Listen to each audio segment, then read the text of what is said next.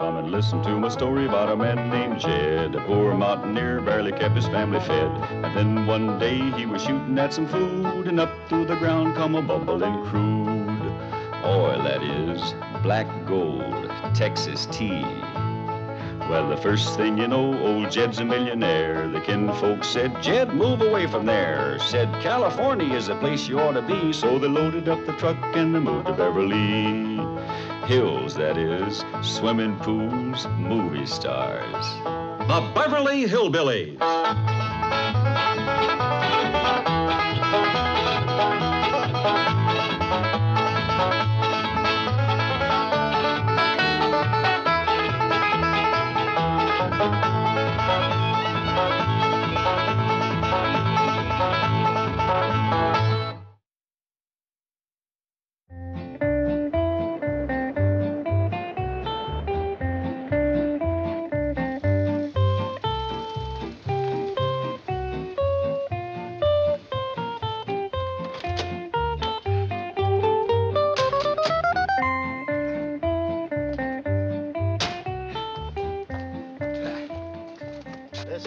Ought to get the Clampetts interested in deep sea fishing, don't you agree?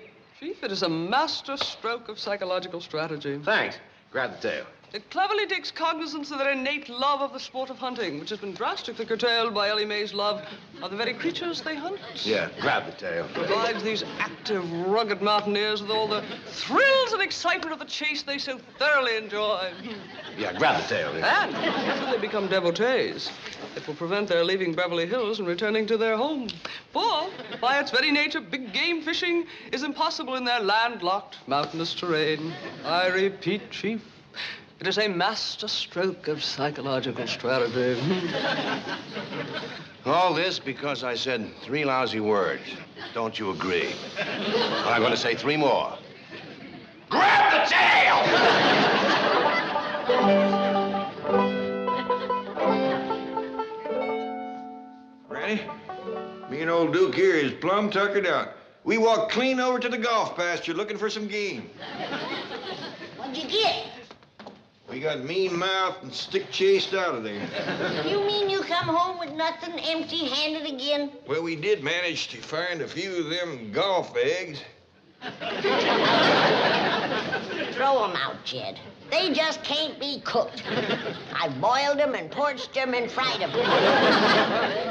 And they still come out gummy as an old boot. Doggone it, I wanted some fresh game meat. Well, looks like we's caught betwixt and between, Granny. Folks don't want me shooting a gun, and when I snare the game, Ellie makes a pet out of it. Uncle Jed, Granny! Come see what Mr. Drysdale and Miss Jane brung us. A great big old fish about this long. Fish that size must be a channel cat. Yeah, some catfish rolled in cornmeal, deep fried. Ought to taste pretty good right now, huh? Sure Come on, let's go. Remember, not a word to my wife about giving this trophy to the Clampetts. right, Chief. That fishing trip to the Gulf of Mexico cost us about $4,000. And this is all we have to show for it. I understand. Plus which, it took her six hours to land it. Well, doggies, that is a big fish. Ain't no catfish. Looks like a carp. No, no, this is a tarpon. That's a saltwater fish. Oh, you cook 'em in salt water, do you? No, no, it lives in salt water. The tarpon is a noted deep-sea game fish. And I want you to have it for your game room. Our what room? Game room.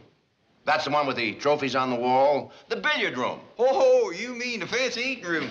yes, as you so quaintly call it. What do I have to do to 'em? Nothing. It's been prepared by an expert taxidermist. Feels nice and crisp. I'd sure like to see the skillet he was fried in. Me too. Appears like the grease got too hot and he curled up a mite. Oh, no, no, he's not fried. Bait? No, no, no. Don't smell like he's been smoked. Tarpon are rarely cooked at all. Once caught, they're usually preserved, like this one. Oh, preserved. Like pickled? Well, yes, in a way. It's quite a process. They're cleaned, scraped, treated with chemicals, even the bones are removed. Then, a form is made and the skin Miss is... Hathaway. Sorry, Chief. Mr. Clampett, I'm sure you'd enjoy catching a fish like this. I would for a fact. Now, there's a critter even Ellie wouldn't make a pet out of. then it's all settled. Now I'm going out and get you the finest deep sea fishing equipment that money can buy. Oh, no need to do that, Mr. Drysdale. I can cut myself a pole and make a hook out of a bent nail. No, catching big game fish like tarpon and marlin requires very special equipment. It does indeed, Mr. Clampett. The black marlin, for example, which is a native of our own Pacific waters. Jethro, fetch this fish out to the kitchen. I gotta figure out how to cook him. But, Granny, Miss Jane said you didn't have to do nothing more to it. She said that it was I all... heard what she said. But I say that this fish ain't got a fresh caught look to it. Nobody's chomping on him till I've cooked him. Yes, ma'am, Granny.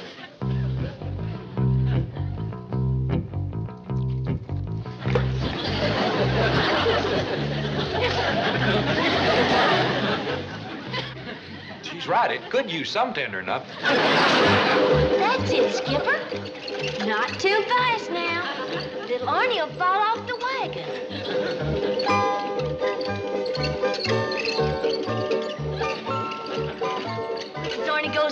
One more time, it'll be your time, Elmer.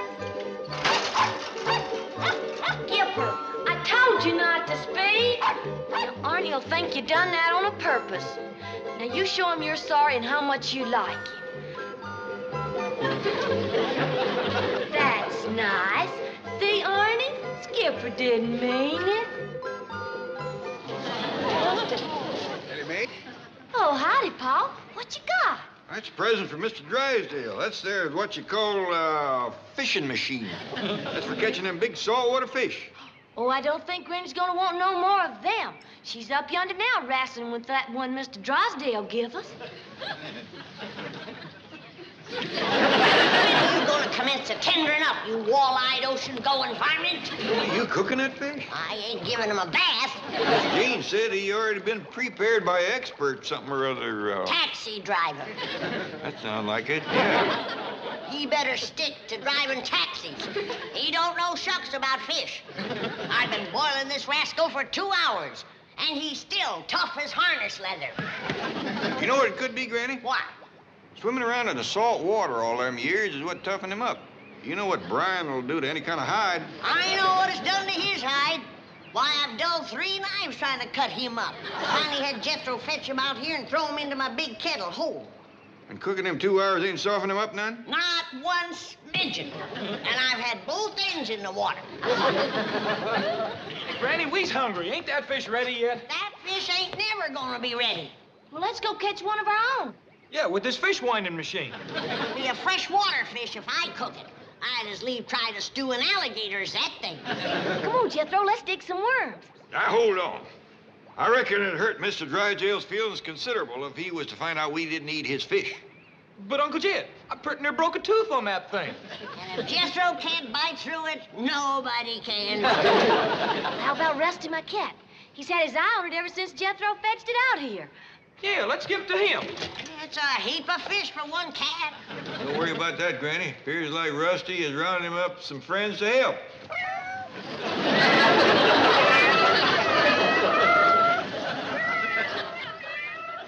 All I can say to you is loads of luck.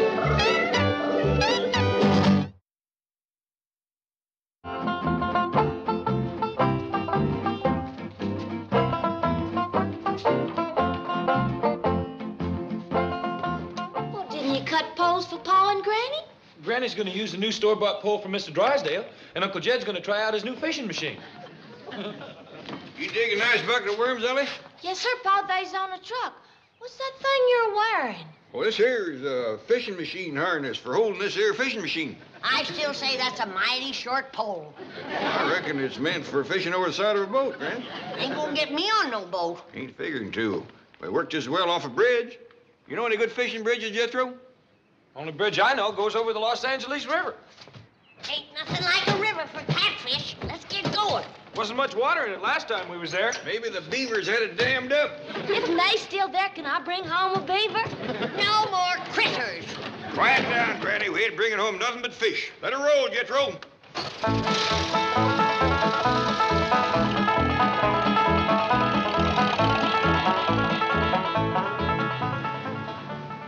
Jethro. You're wasting time. There ain't no fish in there.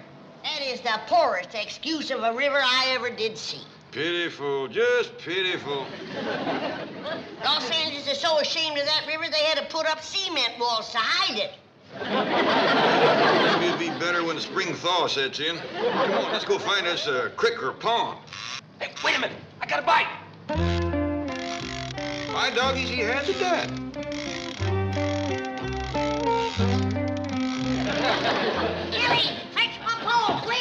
What for?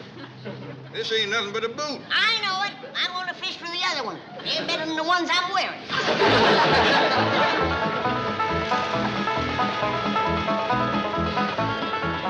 You youngins wait here. Granny and me is going in and talk to Mr. Drysdale. Yeah, I have a few things to say that you might oughtn't to hear. Him and his Beverly Hills fishing. Now, simmer down, Granny. We'll get it straightened out. Keep eye on the poles and stuff. Is no object, Captain. Mr. Drysdale is bringing the Clampett family, and he wants to charter the finest fishing boat in your fleet. Oh. Eight o'clock, Pier 2, the Sea Witch. Right. Oh, I mean, aye, aye.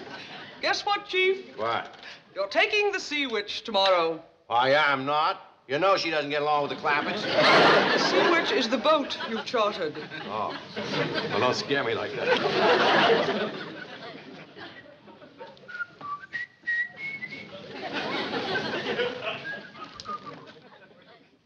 By doggies, we come here to complain about having no place to fish. You ought to see where poor Mr. Drysdale is trying his luck.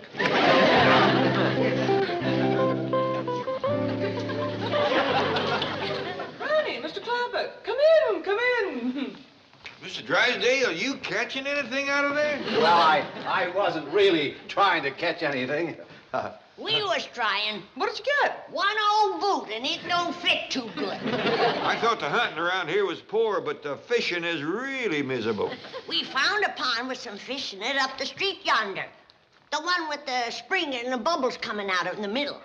Oh, that's the municipal fountain, and those are goldfish. I hope you didn't try to catch any of those. Oh, yeah, we caught a lot of them, but we threw them all back. The biggest one was no better than that. Mr. Clampett, Granny, tomorrow you will have the fishing experience of your lives. I have chartered a boat. I ain't setting foot on no boat. Granny, you'll be perfectly safe. It's quite large, and there's an expert crew aboard. I ain't getting on no boat. But you love it, Granny. Wait till you experience the thrill of hooking a giant barracuda, I ain't going. a fighting sea bass, I ain't going. bonita, albacore, I ain't going. yellowtail. You can call me coward all you want. I ain't going. Please, Mr. Clampett, bring her back. I want to explain to her. I'll bring her back, but you're going to have a job getting her on the boat. Granny's right fond of fishing, but she likes to do her rocking on dry land. Doggone it. Deep sea game fishing is made to order for that scrappy little woman. One look at a 500 pound sea bass, and she'll never fish in fresh water again. Chief, I've got an idea. An inspiration. It combines all the elements. Oh, wait a minute, wait a minute. Can you tell me in 5,000 words or less? I can tell you in one word Marineland. Marineland, yeah. Yes, there, with her feet firmly planted on dry land. Granny can gaze through glass windows into a huge tank and observe at arm's length specimens of sea life by the thousands, from the largest mammals to the tiniest crustaceans. Now, Granny, it won't hurt you none to listen to Mr. Drysdale. He ain't getting me out on no water. But, Granny, I know how fond you are of fish. I'm fond of ducks, too. But I ain't going up in the sky after 'em. Sit down, sit down. Fishing after all. Mr. Drysdale told us about a fishing hole that's got 'em all beat. He's going to take us out there first thing in the morning. It's a Jim Dandy. You can look through a glass window and pick out the kind of fish you like. Some of 'em as big as this truck. Woo! Let's go right now. Yeah. I'm all for that, Jed. Well, I reckon it would spare Mr. Drysdale a heap of trouble. Yeah, where is it, Paul? Down near the ocean, a place called Marine Land. Do you reckon the Marines would let us fish there? Well, uh, he didn't say nothing about that. Well, they hadn't better try to stop me. I'm catching one of them whoppers for supper tonight. The Marines is real tough fighters, Granny, and they tote guns. Well, let's stop by home and get our guns. Hold on, Granny. We ain't taking on the whole United States Marines. And he called me a yellowtail. Oh, fight him, Granny. Ain't nobody gonna fight nobody. We'll ask them Marines nice and polite, can we fish in a fishing hole? What if they say no? We'll jump that quick when we come to it. Drive on, Jethro.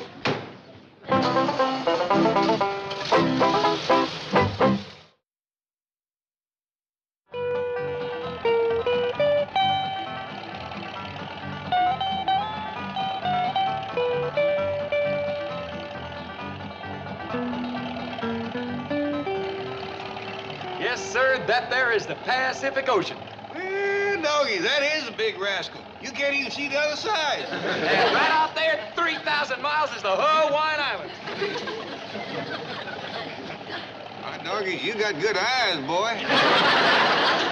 I could see it if it weren't so hazy. Looky, Paul. Up here's a big sign that says Marine Land. Yeah, we's pretty near there. Now, let me do the talking, Granny. I don't want you scrapping with a marine. All right, Jed. But they hadn't better give us no trouble. I got my heart set on fish tonight.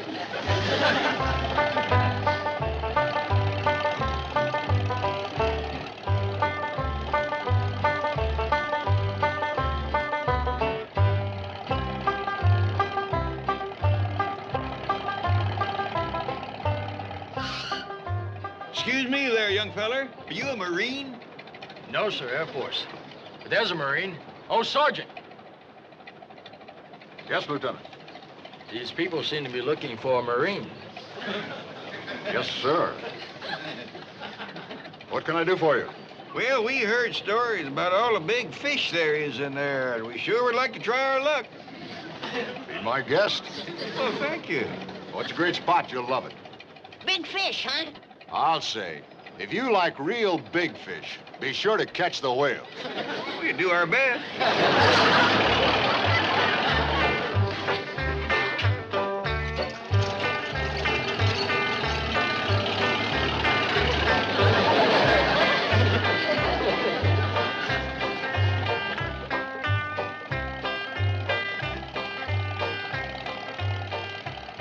there's all kind of fishing holes here. I don't see any no fishing signs. They better not be.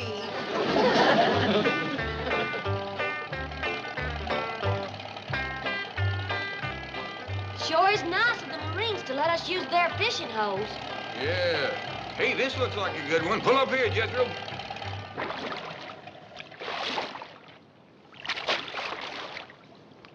They must be them whales that Marine told us to catch. I got to admit, them's big fish. I don't think we got a pole big enough to pull one of them rascals in. According to the sign on the fishing hole, then there's porpoises. I want me a whale. Drive on.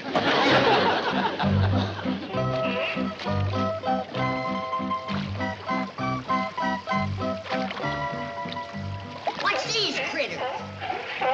Sign says these here is seals. Well, let's see what else we can find. I want me a whale. I like them, especially that baby one.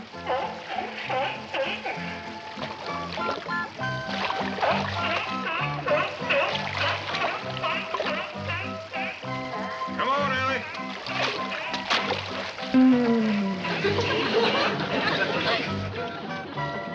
This here's the biggest one yet. It's a dandy. Is this where the whales are supposed to be? That's what the sign says. I don't see no fish.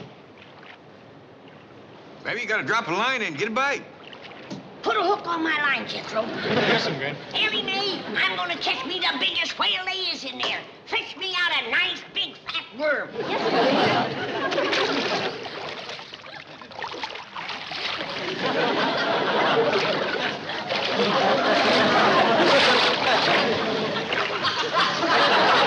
Ready?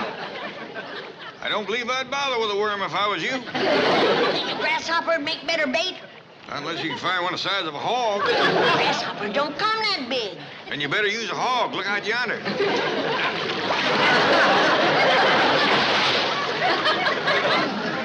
Here he comes again.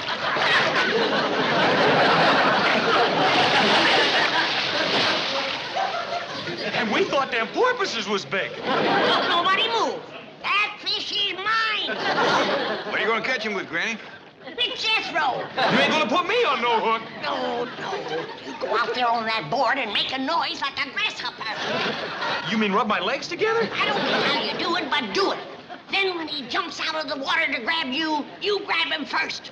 How? Throw your arms around him. Grab him out of there and fling him on the bank. Granny, I reckon you're getting a little carried away. Now, I'd be proud as you to take that big rascal home, but instead of gaining a fish, we might be losing a boy. If the Marines can catch him that big, so can we. Come on, Jethro.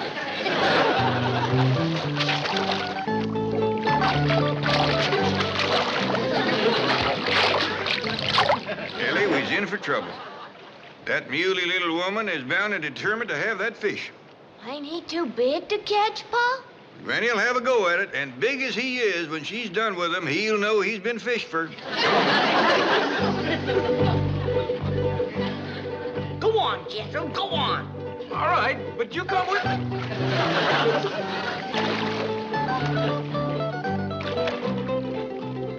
What's the matter, Jethro? You scared of a fish? Well, well, well, that one I am. Ah, Here's a whole bucket of fish. Why don't we take these home? Then we don't have to bother that big ugly rascal. Give him one. He'll think we're friendly. Catch him off guard. Go on, Jethro, go on. I'm sorry, I'm sorry. I, I didn't mean you're ugly. That's right, Jethro. Tempt him again.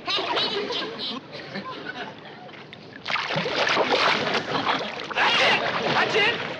Looking down his throat is like looking through a cellar door. All right, Granny, that's enough. Come on, Jethro, get off of here. You bring the fish, Uncle Jed. Wants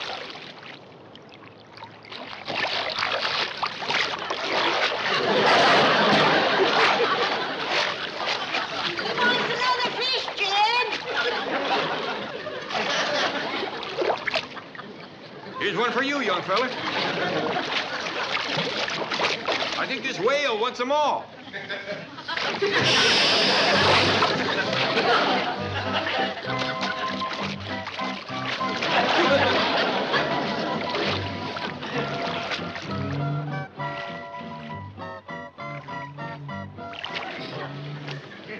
a baby walrus. Ain't he cute, Pa? Can I take him home? Hadn't better, Ellie. He'd remind Granny too much of Leif Crick. Ain't that right, Granny? Where'd you go, Granny? Jethro! Put me down, you big coward. I caught her, Uncle Jed. She was putting her back to the whale tank. I reckon we better head for home.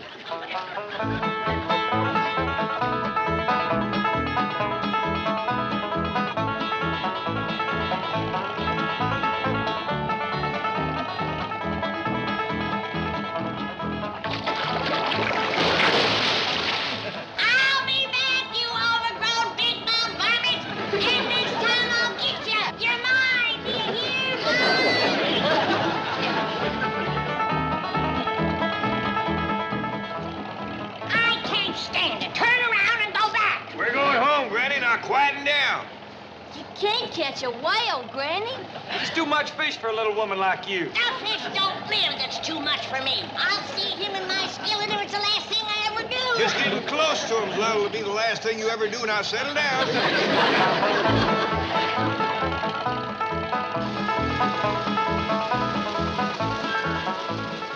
I know what I'll do. I'll roll them in cornmeal. That's what I'll do. Deep fry them. Get that rascal yet? Where you going, Gran? None of your business. Who sent her off? Poor Granny. Yeah, the sad part of it is, when she goes to telling folks about the one that got away, ain't nobody gonna believe her. Hey, Uncle look what I found on the truck. A baby seal. That's my baby seal. You put him down. Ellie Mae Clampett, did you carry off that critter from Marine Land? No, sir, he followed me. Followed you.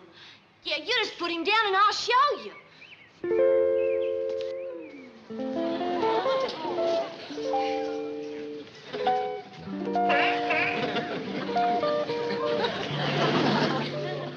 Ellie I reckon he followed you to the truck, but he didn't get up by himself. No, sir. I helped him a little. It happened again because we're taking him back. Come on, Whiskers.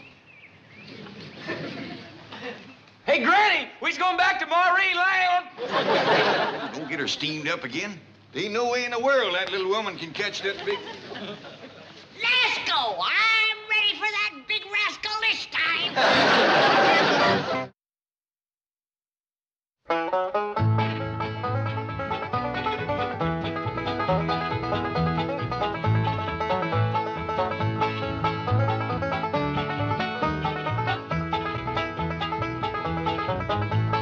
now it's time to say goodbye to Jed and all his kin. They would like to thank you folks for kindly dropping in. You're all invited back next week to this locality to have a heaping helping of their hospitality. Hillbilly, that is. Set a spell. Take your shoes off. You all come back now. Here? This has been a Filmways presentation.